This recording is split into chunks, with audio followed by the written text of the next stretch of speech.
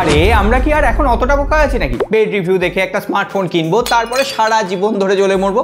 না, এখন আমরা বুঝতে শিখে গেছি পেড রিভিউ হলেও আমরা স্মার্টফোনের দামের সঙ্গে স্মার্টফোনটা কতটা আমাদের ভ্যালু ফর মানি প্রোভাইড করতে পারছে, সেটা কম্পেয়ার করতে শিখে গেছি। কিন্তু তার সত্ত্বেও আমাদের মাঝে মধ্যেই স্মার্টফোন কিনতে গেলে ভুল হয়ে যায়। কোন স্মার্টফোনটা ছেড়ে কোন স্মার্টফোনটা কিনবো, তার উপরে যখন এত অখাদ্য স্মার্টফোন মার্কেটে অ্যাভেলেবেল রয়েছে। তাই জন্য আজকে আমরা একটা লিস্ট তৈরি করেছি, এই যে পুরো একটা লিস্ট আর সেই লিস্ট দেখে আমি আপনাদের সাজেস্ট করতে পারি কোন স্মার্টফোনগুলো আজকের দিনে একদমই নেবেন না। নিলেই আপনার কষ্টার্জিত পকেটের পয়সা কোথা দিয়ে বেরিয়ে যাবে ধরতেও পারবেন না। যাই হোক কোনো রকম দেরি করছি না। আপনারাও দেরি না করে লাইক বাটনটা দেড় হাজার লাইক আপনারা চাইলেই পারেন, একটু দেখিয়ে দিন বস আপনাদের জোরটাই দেখতে চাই। সো প্রথমে আমরা শুরু করব ওয়ান প্লাসকে ওয়ান প্লাস রিসেন্টলি দুটো স্মার্টফোন লঞ্চ করেছে। একটা হচ্ছে one plus Nord CE four পঁচিশ হাজার রুপির প্রাইস প্যাকেটে যেটা তিরিশ বা বত্রিশ হাজার টাকায় বাংলাদেশে অ্যাভেলেবেল আর OnePlus Nord CE four lite এই স্মার্টফোনটা কুড়ি হাজার রুপির প্রাইস সেগমেন্টে লঞ্চ করা হয়েছে বাংলাদেশে ছাব্বিশ বা সাতাশ হাজার টাকার আশেপাশে। কিন্তু এই দুটো স্মার্টফোনের একটাও নেওয়ার আজকের দিনে দরকার নেই। কারণ কুড়ি হাজার রুপির প্রাইস সেগমেন্টে একটা দুর্ধর্ষ ওয়ান প্লাসের স্মার্টফোন অ্যাভেলেবেল সেটা হচ্ছে ওয়ান প্লাস নট থ্রি ওই ফোনটার একটাই উইক পয়েন্ট রয়েছে, সেই স্মার্টফোনটা একটু পুরনো স্মার্টফোন এক বছর আগে লঞ্চ হয়েছিল। কিন্তু ওই স্মার্টফোনে যে মিডিয়াটেকের ড্যামাজরি নাইন থাউজেন্ড চিপসেট সেটা কোনো ফ্ল্যাগশিপ কিলার চিপসেটের থেকে একটুও কম নয়। তার উপরে ডিডিআর ফাইভ এক্স র্যাম রয়েছে UFS three point one storage type রয়েছে। সুতরাং ওয়ান প্লাস নট থ্রি ফোনটা আপনাদেরকে বেশি স্যাটিসফাইড করবে। আর one plus Nord CE four এই ফোনটা নিতে পারেন পঁচিশ হাজার রুপির প্রাইস সেগমেন্টে কারণ ওয়ান প্লাস নট সিই ফোরে ক্যামেরাটা ভালোভাবে ওয়ান প্লাস অপটিমাইজ করেছে।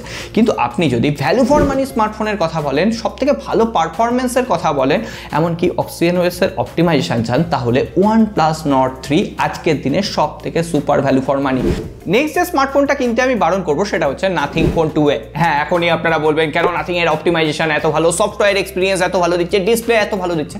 কিন্তু ওই প্রাইস পয়েন্টে নাথিং ফোন টু এর সব থেকে বড় উইক পয়েন্ট হচ্ছে ক্যামেরা কারণ ওই প্রাইস সেগমেন্টে Motorola Edge fifty Fusion already available সেটার ক্যামেরা কিন্তু একদম তাগড়াই একটা পারফরমেন্স প্রোভাইড করছে।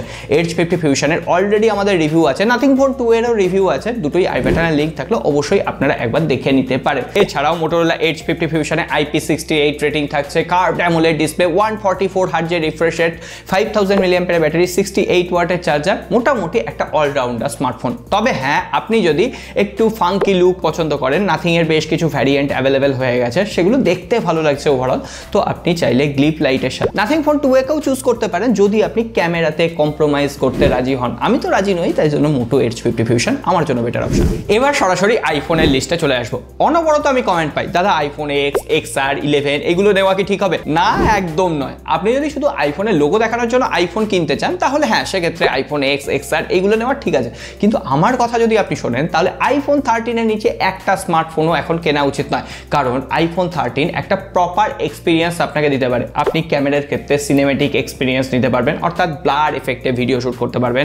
যারা কন্টেন্ট ক্রিয়েশনের দিকে যেতে চান, তারা কিন্তু আইফোন থার্টিন মিনিমাম নেবেন। কিন্তু আইফোন ইলেভেন টুয়েলভ এগুলো রেকমেন্ড না করার কারণ, প্রথমত ইলেভেনের পারফরমেন্স অনেকটা কমে গেছে। এছাড়াও টুয়েলভের কিন্তু ব্যাটারি অপটিমাইজেশন যথেষ্ট খারাপ। আর তার থেকেও বড় কথা টুয়েলভে কোনো রকম সিনেম্যাটিক মোডে ভিডিও শ্যুট করা যায় না। সুতরাং বুঝতেই পারছেন ক্যামেরার ক্ষেত্রে কম্প্রোমাইজ না চাইলে মোটামুটি আইফোন কিনছেন এবং সেটা ফুল এক্সপিরিয়েন্স নেওয়ার জন্য নিজের পক্ষে আইফোন থার্টিন নেওয়াটা অবশ্যই জরুরি।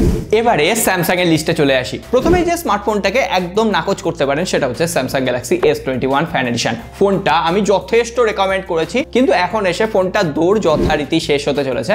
প্রথমত ফোনটা এক্সিনোসের প্রসেসর এখন যথেষ্ট পরিমাণে হ্যাং করছে ল্যাক করছে ব্যাটারি অপটিমাইজেশন ঠিক নেই ব্যাটারি ড্রেন বেশি হচ্ছে। ওই ফোনটার এক্সপিরিয়েন্স আপনাকে কখনোই স্যামসাং ভালোভাবে দিতে পারবে না। সুতরাং এস টোয়েন্টি ওয়ান ফ্যানারেশনকে আপনি নাকচ করতে পারেন। তার জায়গায় একটু প্রাইস বাড়িয়ে, কি ভাবছেন? এফ ফিফটি ফাইভের কথা বলব? একদম নয়। এফ ফিফটি ফাইভ ফোনটা নেওয়ার মতো ভুল করবেন না। প্রথমত, আমরা স্যামসাংয়ের ফোন দুটো কারণে কিনি। একটা হচ্ছে সফটওয়্যার অপটিমাইজেশন দ্বিতীয় হচ্ছে ক্যামেরা এফ ফিফটি ফাইভের ক্যামেরা কিন্তু দুর্বল। আপনি যে কোনো রিভিউ দেখবেন, সকলে একই কথা বলেছে ক্যামেরাতে সেই ডিটেলস কিন্তু পাওয়া যাচ্ছে না। তো সেক্ষেত্রে এফ ফিফটি ফাইভ নয় এস টোয়েন্টি ওয়ান এফি নয়, আপনি একটা মাত্র ফোন ওই প্রাইস রেঞ্জে চুজ করতে পারেন। একটু দামটা বেশি লাগবে এস টোয়েন্টি থ্রি ফ্যান্ডেশন তবুও যে ফোনটায় একেবারে প্রবলেম নেই, এটা বলব না। ফোনটায় ওভার হিট হয়, এমনকি ব্যাটারি ড্রেনও বেশি হয়। কিন্তু হ্যাঁ বেশ ভালো একটা এক্সপিরিয়েন্স পাওয়া যাবে, ক্যামেরাও অনেক বেটার কাজ করছে। আর তার থেকেও বড় কথা, আপনি A fifty five A fifty four এছাড়াও A thirty five A thirty four এই সমস্ত ফোনগুলোর কথা অনেকেই কমেন্ট বক্সে জিজ্ঞেস করেন। এই ফোনগুলো নেওয়ারও কিন্তু কোনো রকম কারণ নেই। কারণ A fifty five A thirty five যে প্রাইস রেঞ্জ এসছে, ওই প্রাইস রেঞ্জে ওটার থেকে অনেক বেটার ফোন অ্যাভেলেবেল রয়েছে। আমরা বাজেট ফোন নিয়ে অলরেডি একটা ভিডিও বানিয়েছি আইপ্যাটার লিঙ্ক দিলাম। ওই ভিডিওটা একবার দেখে নেবেন, সমস্তটা আপনার ক্লিয়ার হয়ে যাবে। এ ফিফটি ফাইভ যে পঁয়ত্রিশ হাজার রুপিতে পাওয়া যায়, সেই প্রাইস সেগমেন্টে আপনি S twenty three fan edition এমনকি এস টোয়েন্টি টু যে স্মার্টফোনটা সেই ফোনটাও কিন্তু মোটামুটি পঁয়ত্রিশ, ছত্রিশ হাজার রুপিতে পাওয়া যায়। বাংলাদেশের বিয়াল্লিশ বা তেতাল্লিশ হাজার টাকায়।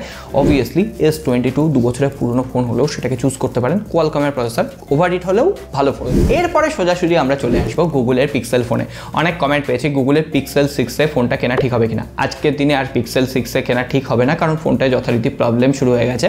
আর পিক্সেলের যে টেন্সার চিপসেট সেটা তো এক্সিনোসিটি ভাইরা ভাই, সেই প্রসেসরটাও কিন্তু আস্তে আস্তে উইক হয়ে যায়। আমি বলব, আজকের দিনে দাঁড়িয়ে না গুগলের Pixel six series seven series এমনকি এইট সিরিজেরও ফোন কিনবে না।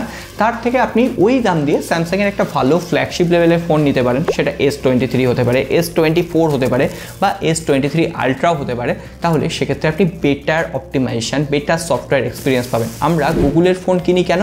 না, একটা গুগলের ভালো stock Android UI better feature পাবো বলে আর ক্যামেরা অপটিমাইজ পাবো বলে।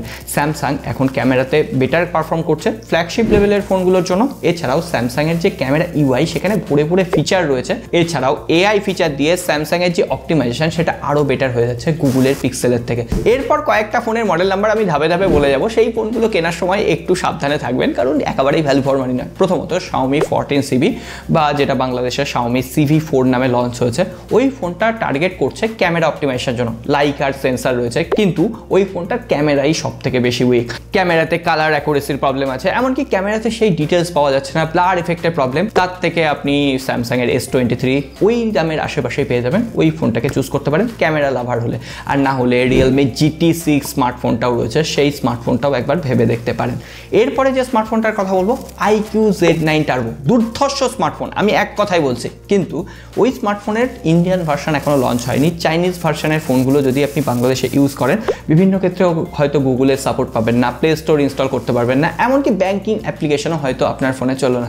তো আমি রেকমেন্ড করব আইকিউ জেড নাইন টার্বো আজকের দিনে নয়, কয়েকদিন ওয়েট করে যান, তারপরে অবশ্যই ইন্ডিয়ান ভার্সান বেরোবে গ্লোবাল ভার্সান বেরোবে, তখন আপনি কিনতে পারেন। এরপরে ওপো বা ভিভোর মতো স্মার্টফোন কোম্পানিগুলোই বা পড়ে থাকে কেন? প্রথমেই বলি ওপোর তরফ থেকে Oppo F twenty five Pro যে ফোনটা লঞ্চ করল, সেই ফোনটা পঁচিশ হাজার রুপিতে মিডিয়াটেকে Dimensity seven zero five zero অবশ্যই ওভার প্রাইসড ওই ফোনটা নেওয়ার কোনো মানে হয় না। এছাড়াও Oppo F twenty seven Pro plus আমরা দু একদিন আগে রিভিউ করলাম। হ্যাঁ ফোনটা শক্তপোক্ত মানছি কিন্তু আপনি তো ফোনটা বারবার ফেলে ড্রপ টেস্ট করে ফোনটা ইউজ করবেন না, বা আপনি ছুঁড়ে ফোনটাকে অযত্ন করেও ইউজ করবেন না। তো সেক্ষেত্রে ওই ব্যাপারটা ছেড়ে দিলে ওই ফোনটাও কিন্তু কেনার কোনো মানে হয় না।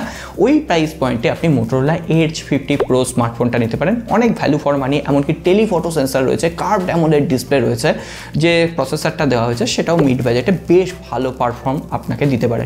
এছাড়াও ভিভোর তরফ থেকে ভিভো ভি টোয়েন্টি নাইন সিরিজের স্মার্টফোন এখনও বিক্রি হচ্ছে। সেগুলো কিনবেন না, যথারীতি পুরনো হয়ে গেছে অলরেডি ভিভো ভি থার্টি সিরিজের ফোনগুলো চলে এসেছে। ভিভো ভি থার্টি এবং ভিভো ভি থার্টি প্রো কিন্তু যথেষ্ট ভালো ফোন। ওই দুটো স্মার্টফোনকে আপনি কনসিডার করতে পারেন। তার থেকে বড় কথা ভিভো ভি ফর্টি সিরিজ খুব তাড়াতাড়ি লঞ্চ করছে, সুতরাং আপনি ওয়েটও করে যেতে পারেন। এরপরে সবশেষে অনার বা হোয়ার ডিভাইসগুলোর কথা বলব। ডিভাইসগুলো ভালো, কিন্তু অনারের ডিভাইস অবশ্যই ওভার প্রাইস তার থেকেও বড় কথা অনারের কিন্তু সার্ভিস সেন্টার প্রত্যেক জায়গায় অ্যাভেলেবেল নেই পার্সের অ্যাভেলেবিলিটি নেই। সুতরাং অনারের ফোন কেনার আগে সাবধান। কারণ একটা স্মার্টফোন আপনি আজকে কিনছেন, কালকে হাত থেকে পড়ে গিয়ে ডিসপ্লেটা ভেঙে যেতেই পারে। কিন্তু আপনি যদি পয়সা দিয়ে ডিসপ্লে ঠিক করতে না পারেন, সুতরাং আপনার আশেপাশে যে সার্ভিস সেন্টারগুলো অ্যাভেলেবেল রয়েছে, যাদের মোটামুটি আপনি ভরসা করতে পারেন। আর একটা জায়গাকে আপনার ভরসা করতে পারেন, সেটা হচ্ছে টেক বেঙ্গলি ফ্যামিলিকে অবশ্যই সাবস্ক্রাইব করে রাখবেন বেল ঘন্টিটা বাজিয়ে রাখবেন, যাতে পরবর্তীতে কোনো ভিডিও মিস না হয়ে যায়। আমরা টাকা বাঁচানোর মতোই ভিডিও করি। সকলে ভালো থাকবেন, দেখা হবে আগামী পর